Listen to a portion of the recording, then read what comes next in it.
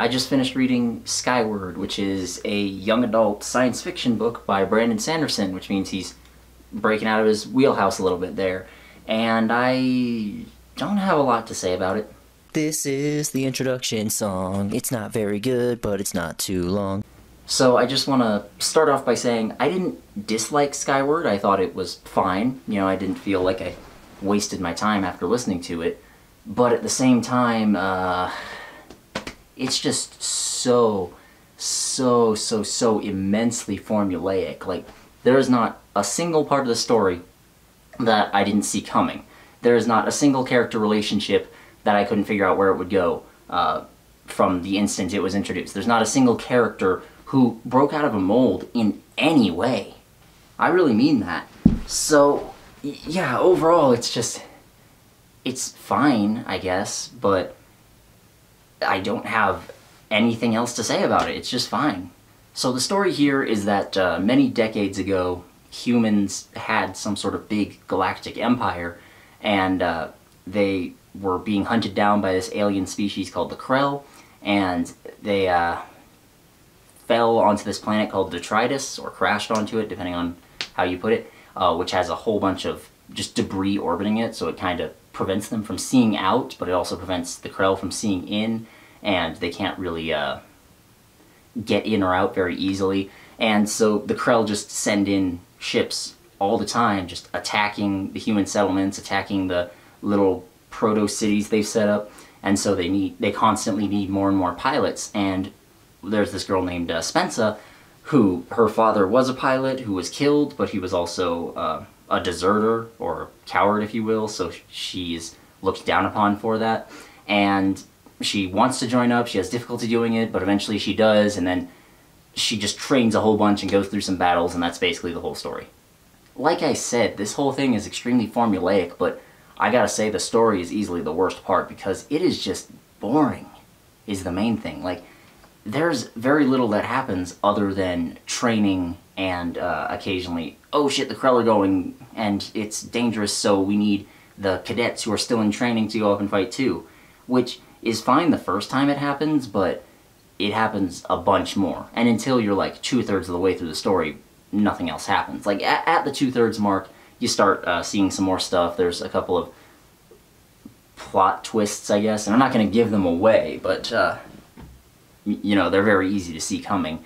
And then there is a climax, which is again fine. It's just kind of, I mean, even like you expect Sanderson to have a really good climax because that's you know that's just something he's really good at because he outlines so tightly but once you get to this one it was just like oh look there's an excuse for a really big battle and oh the stakes are super high and then there's one big reveal twist thing and it's just uh well i don't want to say it's disappointing but uh i was expecting more now, like I said, every character stays firmly in the mold that they had when they're first introduced. Uh, however, I will say that Spensa is still likable enough, and then there's another character who shows up later called M-Bot, who I also liked, but like I said, they both stay in their mold. They stay in their character mold and never get out of it. And the other characters also stay in their character mold and never get out of it. And, like, I hardly even remember most of their names, and I only finished reading this, uh, two days ago, I think. So, yeah, it's just, it's a massive failure on every front. Like, they, they do their job, sure, but that's it. Even the setting, while it sounds kind of cool uh, at first when it's described, doesn't have that much detail to it. It's kind of just, yeah, humans have these uh, settlements, they're mostly underground so that they can be protected from bombs, and the richer people live deeper underground so that they're more protected. And then the military has kind of taken over the government by this point, which most people are okay with because it's necessary for survival, or they see it as necessary for survival. And that that's kind of cool, but they don't really do much with any of that. It's just, yeah, the aliens are attacking, let's fight them. And that, that's the whole story.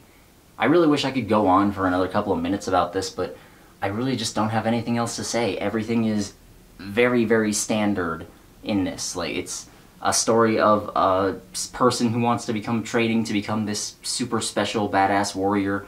uh, and they have to prove themselves because people don't think they can do it. Like you've seen that exact story a bunch of different times, not just in books, but in video games, in movies, and TV shows. Like it, it's been all over the place. It's been done before, and it's not that that can't be made interesting, but in terms of trying to make it interesting, Sanderson really, really failed here. And I'm making it sound a little worse than it is because, like I said, it's fine. There, there's a couple of points that I liked. There's a couple of characters that I liked, and it, you know, mostly Spensa, who is the main character. It's all from her POV, so it's important that we like her. But yeah, that's all. I don't have anything else to say. Thank you to everyone who watched this far in my ranting about obscure, weird topics. And thanks especially to all my patrons whose names are here. And my $10 and up guys are Apo Savalainen, Andrew Dixon, Ashley Watson, Ava Toomer, Brother Santodes, Christopher Quinten, Emily Miller, Joel, Johnny St. Clair, Madison Lewis Bennett, Taylor Briggs, Tobacco Crow, Topher Wheeler, and Vay Victus, as well as all the other names here. You guys are you guys are awesome. If you want to get your name up here or access to other goodies, then go to my Patreon page, check that out. And if you can't do that, then just, you know, sharing this video and commenting on it and all that, that helps me too. Anyways, uh, see you next time. Bye.